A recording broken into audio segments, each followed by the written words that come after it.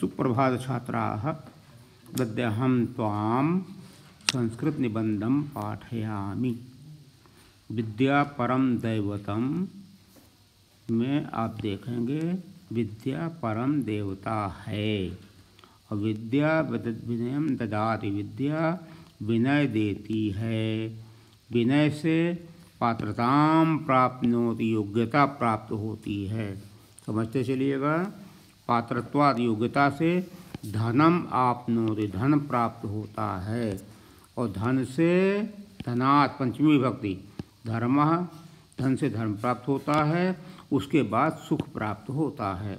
अब इसी चीज़ को सत्यमुक्तम के माध्यम से एक श्लोक आपको दिया गया है, विद्या ददाति विनयम। विद्या विनयम ददाति ऊपर लिखा है। विनयात याति पात्रताम, विनय से पात्रता प्राप्त होती है।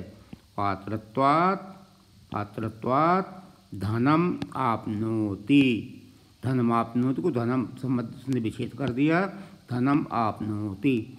और धनात् धनात् धर्म धर्म ततः सुखम प्राप्नोति। ततः सुखम। क्लियर हो गया? अब देखिए विद्याम राजा न हरत, विद्या को राजा नहीं हरण कर सकता। ठीक है? विद्या को विद्याम चौरा चोर तुम न सकनोती विद्या को चोर चुरा नहीं सकता। विद्याम भ्राता न विभजते। विद्या को भाई बांट नहीं सकता।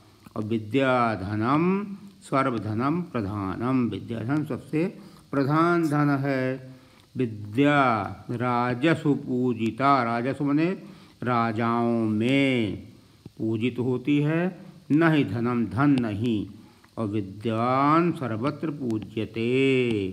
विद्वान हर जगह पूजित होता है, उसकी पूजा हर जगह होती है। इसलिए विद्या सर्वस्व भूषणम, या विद्या परम दैवतम। थैंक यू याद करिएगा, लिखिए कापी में और याद करके सैटरडे को जमा कर दीजिए कापी को करेक्शन के लिए। Thank you